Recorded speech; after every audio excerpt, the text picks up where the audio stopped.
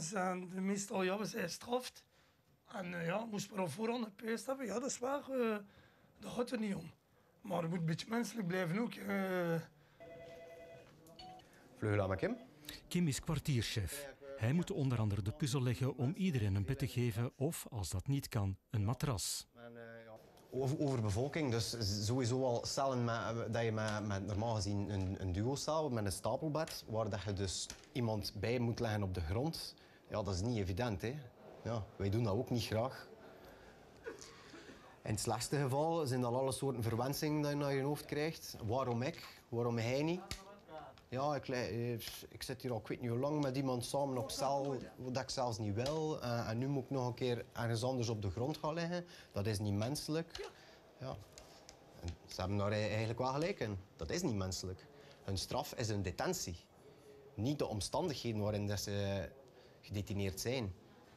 En nu is die, zijn die omstandigheden eigenlijk een extra straf. Hè.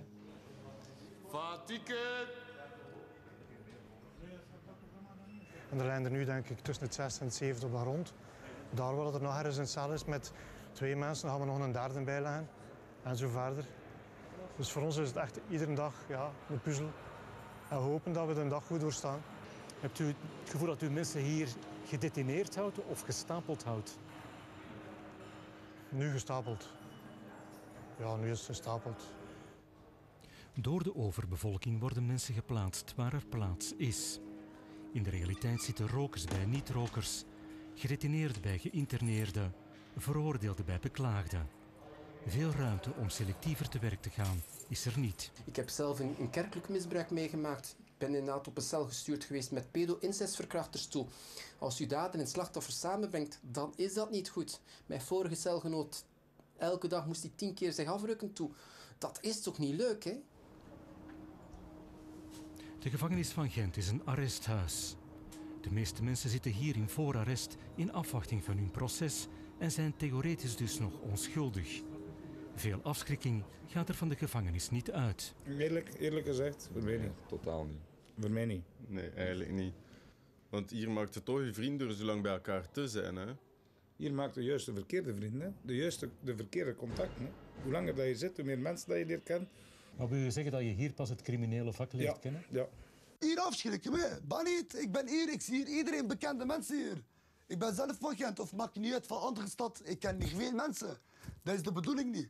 Maar als ik een daad heb verricht en ik moet daar gestraft van worden, ik respecteer de staat dat hij mij in de bak moet steken. Maar je moet niet denken dat een jongen goed gaat uitkomen. Dat is, is niet, de, manier van ja, reïntegreren. Als we mensen willen reïntegreren, dan moeten we er ook iets mee doen. Moeten ze niet opsluiten en aan hun lot overlaten en zomaar met de mensen zo omgaan. Wij zijn geen beesten, wij zijn mensen. Mensen zitten hier gewoon op elkaar te leven. Kan niet. Vreemd genoeg vragen sommige gedetineerden zelf soms om naar de strafcel te mogen. Hier zijn ze tenminste even rustig en alleen. Anderen zetten een grote mond op of gebruiken doelbewust geweld. Het zijn twee manieren om toch enigszins gezin te krijgen, zo leert hun ervaring. Maar wat ga je doen als ze zo meteen komen aankloppen en zeggen sorry, we hebben geen plek, er moet iemand bij komen? Eh, Dat gaat niet. Bij mij gaat dat gewoon niet. Het moet wel gaan. Maar het is niet van moeten, meneer. Snap je? U leeft hier niet, ik, ik leef hier. Ik heb dat meegemaakt. Er komt iemand binnen. Ik zeg, steek je binnen. Die gaat straks binnen twee seconden gaat hij wenen naar buiten. En, en dat gebeurt zo. Dat is niet alleen bij mij, meneer. Dat is bij veel mensen zo. Eh, Dat is toch niet menselijk dat je iemand in zijn cel stropt en hier en paf en slaapt op de grond en hier zie je dat en dat. Ah ja. Ik had een Belgische jongen, ik eet, die hier gaat schijten. Dat, dat is niet normaal, hè. En dan verwachten ze dat ik eh, op een rustige manier eh, hem buiten moest smijten. Ja, dat, zo werkt dat hier niet. Hè. Zit hier stampvol. Ja, ik ben er altijd bij. nu. Zo voelen wij ons. Stress, iedereen loopt met stress.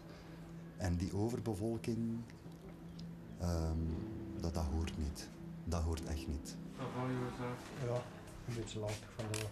Zou een beetje te druk zijn, denk ik. De medische dienst van de gevangenis bevestigt dat er door de overbevolking veel klachten zijn. Heel veel mensen die komen met rugklachten, nekklachten, van op de grond te moeten slapen door het feit dat ze geen bed hebben. Meer verkoudheden door het feit dat ze op de grond liggen. Die, met die specifieke klachten komen ze nu toch wel veel meer dan anders bij ons terecht. Ja. Eh, heel veel mensen komen klagen dat ze, ja, dat ze niet naar het toilet kunnen gaan. Dan moeten ze echt wel uh, door een dokter uh, iets, een hulpmiddel eigenlijk vragen. De stress die neemt sowieso toe bij de gedetineerden. We hebben ook geïnterneerde mensen, dat zijn mensen met psychische problematiek. Als je daar dan iemand bij steekt, ja, dan moeten we er geen tekeningsken bij maken wat dat dan voor die mensen heeft in hun hoofd. Geïnterneerden, mensen die ontoerekeningsvatbaar werden verklaard, horen sowieso niet thuis in de gevangenis en al zeker niet in een overbevolkte gevangenis. Dat soms, ja, bij die mensen gaat dat soms niet in hun hoofd. Van, we zitten met drie op cel, maar we mogen eigenlijk maar met twee. Of er zijn ook heel veel mensen die hier normaal gezien alleen moeten zitten. Wat ook heel frustrerend is voor ouders, omdat we mensen met psychoses, mensen met ja, een heel, ja, heel autistisch soms, dan niet met andere mensen overweg kunnen en dan, dan eigenlijk alleen moeten zitten, maar we kunnen er dat gewoon niet geven, omdat we de plaats niet meer hebben. Dus moeten ze wel met iemand zitten. Overbevolking. Het is een probleem dat Belgische gevangenissen al decennia met zich meeslepen. En opnieuw is het de vraag hoe lang dit allemaal nog kan blijven duren. Dat is een, uh, ja, dat is een vat buskruid hè, in principe. Er moet maar dat gebeuren en de boel kan ontploffen. Wonder boven wonder zijn de meeste gedetineerden tot nu toe redelijk begripvol voor de situatie. Ik vind dat personeel, personeel enorm veel doet, maar ik vind ook dat de gedetineerden enorm... Meegaand is misschien niet het juiste woord. En nog laten is ook het, het juiste woord niet. Maar we doen het. En ook zij doen het. Hebben we brave gedetineerden? dat is moeilijk, hè? Goh ja, we hebben wel brave gedetineerden, denk ik. Ik denk dat wel.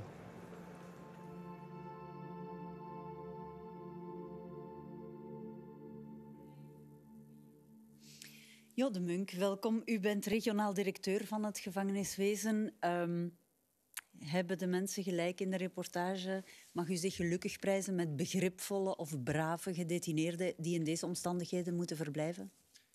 De mensen hebben zeker gelijk. Dit zijn geen, geen correcte omstandigheden. Uh, dit zou inderdaad uh, niet mogen. Uh, er wordt ook gewerkt om er iets aan te doen. Nu moeten we ook zeggen, dat het is niet in, in alle inrichtingen zo. Het zijn vooral de arresthuizen, dat is ook in de reportage gezegd. De gevangenissen waar veroordeelden zitten voor strafuitvoering. Daar is de overbevolking toch uh, merkelijk minder.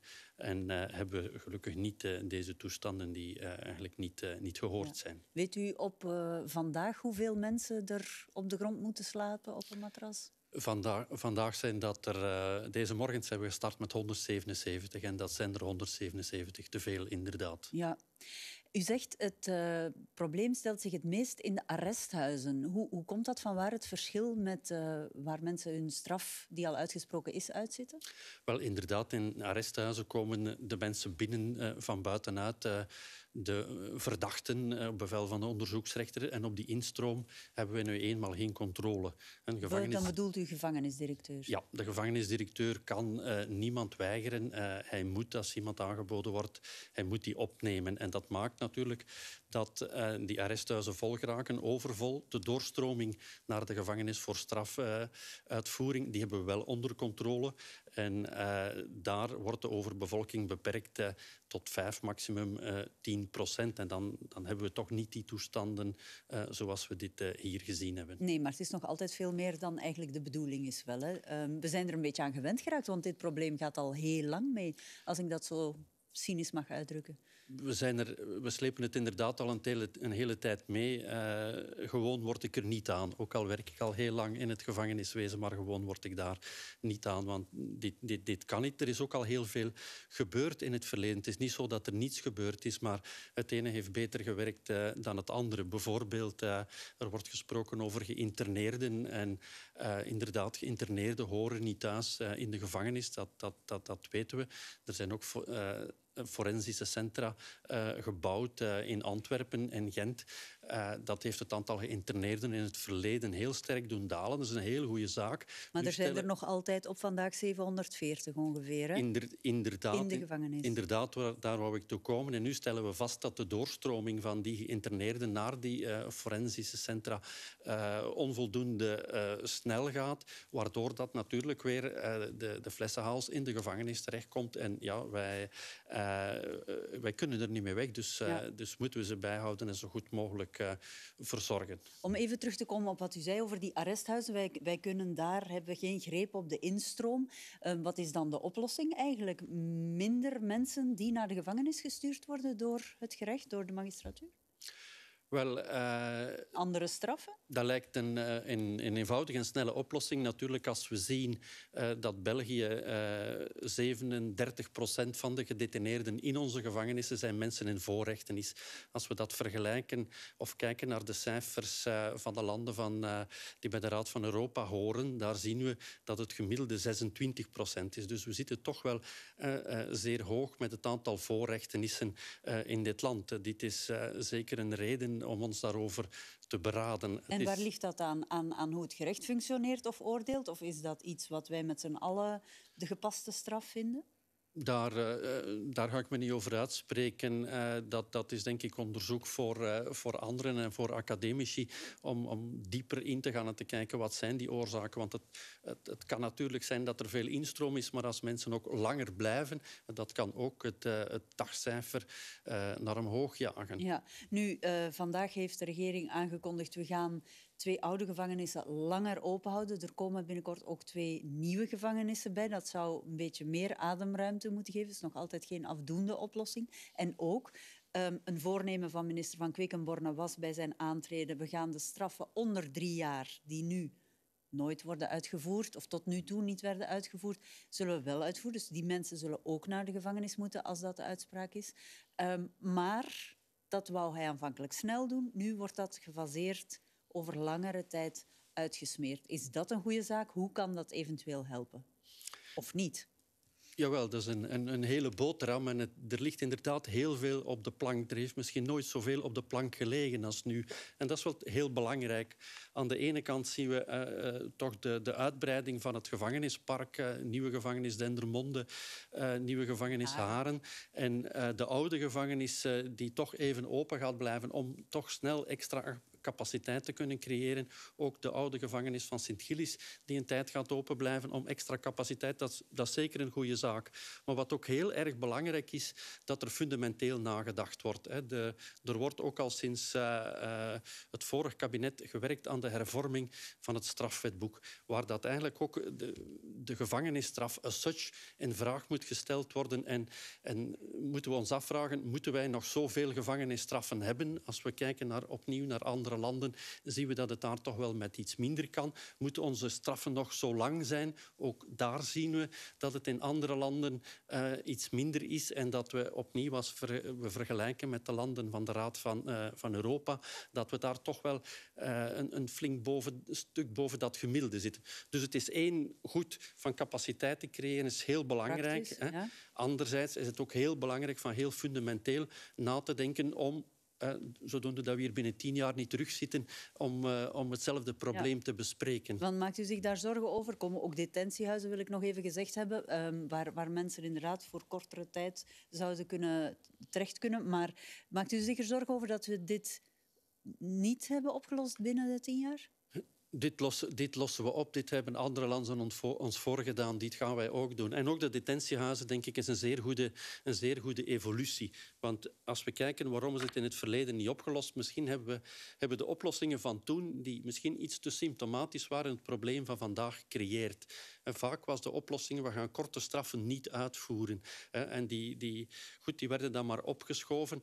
Reactie is natuurlijk van, van, van rechters, wat begrijpelijk is, dan, dan geven we een iets langere straf. En zo raak je natuurlijk in een, in een vicieuze cirkel en blijven, blijven we bezig. -hmm. En we hadden het net over die lange straffen die een probleem zijn. Als we die korte straffen nu toch gaan uitvoeren, moeten we toch hopen dat die strafmaat gaat uh, uh, korter worden. Als er dan ook nog eens gesleuteld wordt uh, aan de wetgeving, dan, uh, dan heb ik hoop ook de detentiehuizen. Het moet gezegd, is een, een, een nieuwe vorm, kleinschalig. En eh, we weten toch ook uh, dat kleinschalig, hebben we ook in Scandinavië gezien, kleinschalige detentie absoluut beter werkt en de gedetineerden beter voorbereidt op die uh, terugopname in, in de maatschappij. Mm. En op die manier hopen we ook invloed te hebben op het recidivisme, waardoor dat we opnieuw de gevangenisbevolking onder controle kunnen krijgen. Het is complex, maar het moet lukken. Ja, dat uh, begrijp ik. Uh, vol goede moed. Dank voor de komst, meneer De Munk. Dank u.